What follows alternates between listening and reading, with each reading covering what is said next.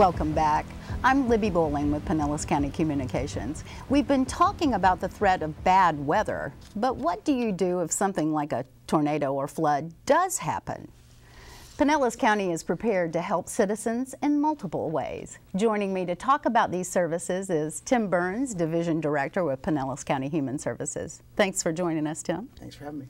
And Iñaki Rezola, Emergency Management Coordinator with Pinellas County Emergency Management. Thanks for joining us, Iñaki. It's my pleasure. Thanks for having me. Now, we want people something has happened right now, right. but really what we want to tell people is prepare ahead.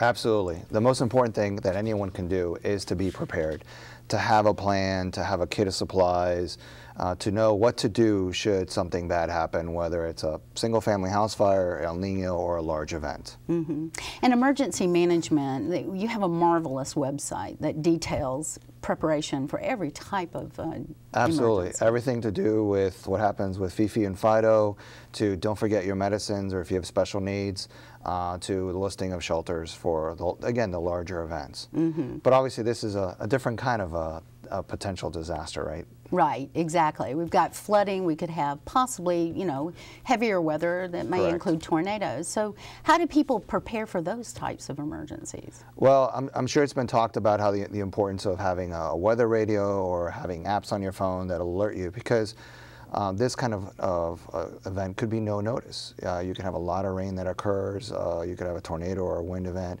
and, and you really didn't get the type of days notice uh, like in a hurricane.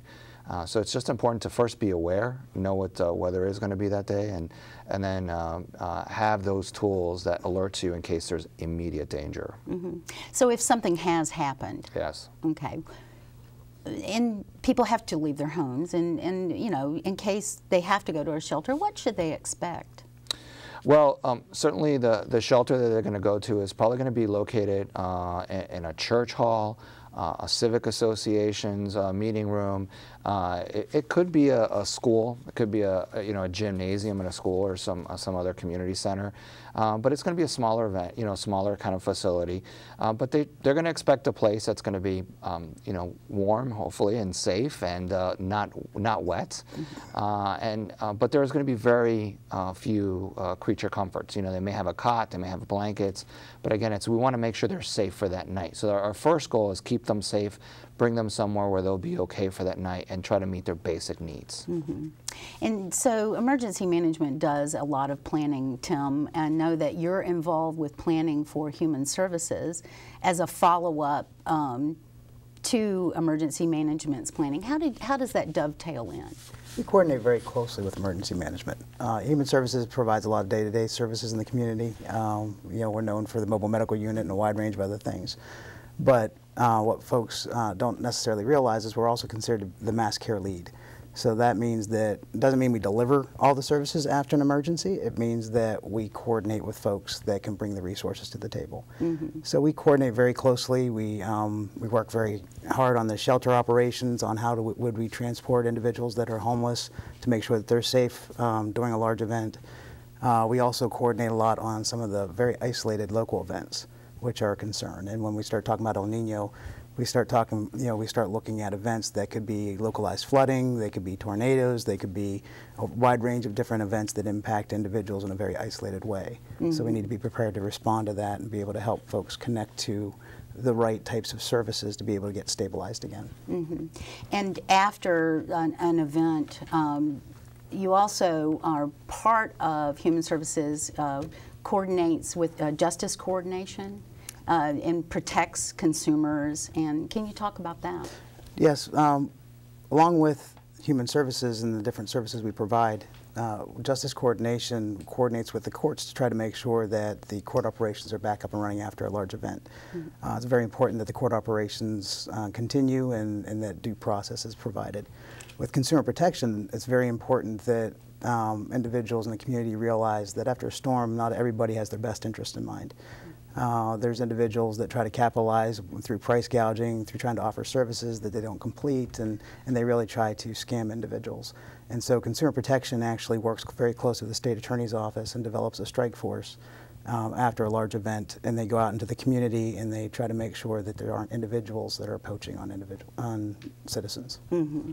And you also mentioned that you both work together uh, on the community response plan. Is that correct? That's correct. And, and what does that entail? It, it's a it's a team effort, you know, and you know, human services and emergency management works with our community partners. Uh, forging those collaborations out there because not one single agency or entity can do it all. But you have folks like 211, uh, the American Red Cross, the Area Agency for Aging, that all bring um, different level of subject matter expertise to help us in our in our communities. And so it's it's really that that synergy that's created uh, working together to address whether it's a feeding issue, a sheltering issue, or someone lost their medicines because you know the, the house fell down or burnt down and, and now they need their medicines. Mm -hmm.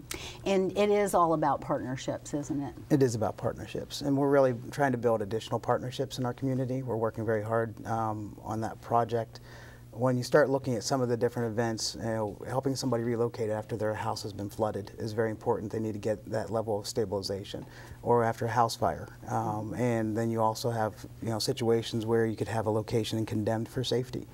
Um, so having partners like the Pinellas County Housing Authority to be able to help relocate individuals after their after a, a, housing complex is condemned, mm -hmm. or working with the Area Agency on Aging or DCF if there's a problem with a with an ALF uh, assisted living facility and, and folks might be in jeopardy. Um, there's a lot of different types of events and it's important to have partners that can help us respond. Mm -hmm.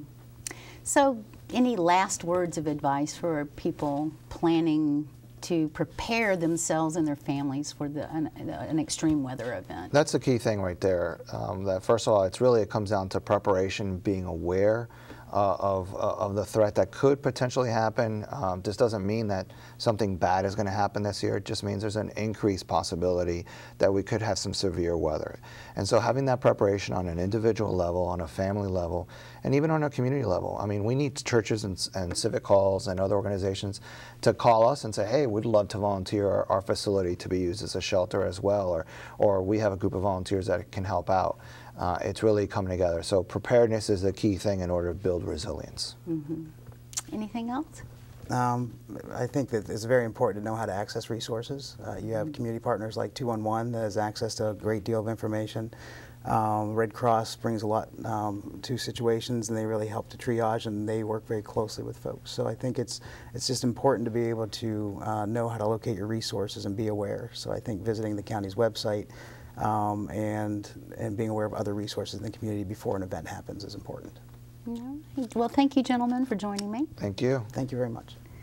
If you'd like more information about Pinellas County Human Services, visit their website at pinellascounty.org slash human services. And if you'd like more information about preparing for an emergency, visit Emergency Management's website at pinellascounty.org slash emergency.